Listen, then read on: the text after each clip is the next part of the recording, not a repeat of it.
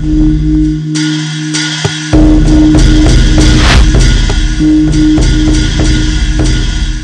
ได้เหียเขาก็เป็นพี่น้องกันเจ้าปี้สุกวงเขาฮักน้องคนเดียวเต้าอ้างคืออาบอกหลานได้ก่อนว่าเจ้าอาจะส่งไอหยังไปตอบแทนน้ำใจเมืองมันในเตือนอยู่อีไพ่เชียงเงินไอ้หมูกุลาขาว มันจะได้คูว่า ถ้าไผ่ทำผิดกฎของเจียงเงิน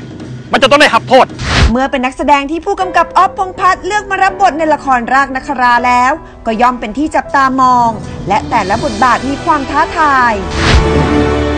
ไม่ว่าจะเป็นความหล่อและตรงตามบทประพันธ์ของหมากปรินที่รับบทเป็นเจ้าสุขวงศ์หรือเจ้าน้อย แห่งเชียงพระคำซึ่งการไปเรียนและใช้ชีวิตที่สิงคโปร์ถึง 10 ปีทำให้ฉลาดรู้ทันคน ทันสมัย และอ่อนโยน โรแมนติก และมีรักเดียวคือแม้นเมือง เขาได้ยะการที่เจ้าป้อสั่งเสียไว้แล้วเหตุก่อน 1. บ้านเมืองห่มเย็น 2. ผู้คนอยู่อย่างสงบสุข ยากเหมือนกันสำหรับผมก็ถือว่างานหนักเหมือนกันแต่ว่าก็ตั้งใจเต็มที่นะก็อ่านบทหลายรอบ ถือว่าเป็นคนที่ฉลาดมากๆครับ แล้วก็เหมือนเป็นทูตพูดจาหวานล้อมได้เก่ง อยากจะให้ติดตามดูวิธีการพูดของ จ้าสุขวงศ์เสน่ห์ของตัวละครอีกแบบหนึ่งอีกรูปแบบหนึ่งที่ผมถ่ายทอดให้ทุกคนได้ดู ว่าสิ่งที่เขากำลังจะสอนในตอนนั้นๆเนี่ยเขาจะพูดว่าอะไรเขาบอกคุณว่าอะไรหรือการพูดภาษาเหนือของแต้วนัทพร รับบทเจ้าแม้นเมืองแห่งเชียงเงิน สวยลึกซึ้ง กล้าหาญมุ่งมั่นเด็ดเดียว หลังจากที่เธอเคยแสดงความสามารถด้านภาษาอีสานมาแล้วหลานจะขอทุ่มแห่งกายแห่งใจทั้งหมดอ ยากการเพื่อหับใจแผ่นดินเจียงเงินต้ารู้สึกว่าเหนือยากอะ่ะ เพราะมันจะมีความใกล้เคียงกับกลาง แต่ว่าก็จะต่างกันด้วยสำเนียงอะไรอย่างเงี้ยใช่ความแบบขึ้นลงขึ้นลงอะไรเงี้ยแล้วก็มีแบบไปหาครูคนเหนือเลย ซึ่งรู้สึกว่าต่างคนก็ต่างไปทำกันบ้านกันมา เราก็ซุ่มเหมือนกันอะไรอย่างเงี้ยก็แบบไปไปให้ครูสอนนิดนึงอะไรอย่างเงี้ยค่ะไปไปฟังจริง ๆ ไปแบบไปอยู่กับเขาอะไรอย่างเงี้ยไปไปนั่งฟัง ขณะที่มิวนิษฐารับบทเจ้ามิงล่าแห่งเชียงเงิน สวยสะดุดตา ฉลาดรักตัวเอง และได้รับการเลี้ยงดูให้เป็นที่หนึ่งมาโดยตลอด จึงเป็นการพลิกบทบาทครั้งสำคัญของมิวที่คนจับตามอง ไม่บอกเมียอยากได้จะโตน้องได้ ไม่ข่อยน้องมันกับแมนเมืองไม่ข่อยน้องมันกับไม่ข่อยน้องมันกับบทมิงล่าก็ถือเป็นเป็นการพลิกการแสดงของมิวเลย ซึ่งแบบ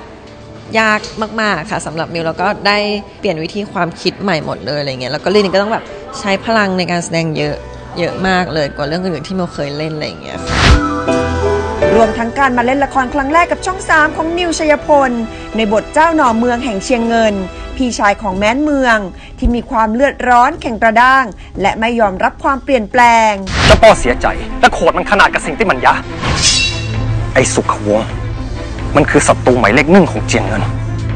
ครั้งแรกที่พูดภาษาเหนือในเรื่องครั้งแรกที่เล่นกับทางช่อง 3 ครั้งแรกที่ร่วมงานกับพี่ออฟพุ่มกับที่เราอยากร่วมงานครั้งแรกที่ร่วมงานกับทีมงานทุกคนเลย ครั้งแรกที่ร่วมงานกับนักแสดงที่เราไม่เคยร่วมงานเลยสักสักคนเดียวใหม่ไปหมดเลย มันกลายเป็นเหมือนว่าเราเอ้ยกลายเป็นกลายเป็นนักแสดงใหม่ไปเลยแบบ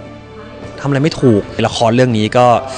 หนักหนามาก เป็นอะไรที่ทำให้เราเราเครียดแบบแบบสุดๆเลยเรียนเพิ่มเติมแบบแบบเยอะมากได้อ่านหนังสือด้วย อ่านหนังสือเรื่องล่างนัคราเนี่ยด้วย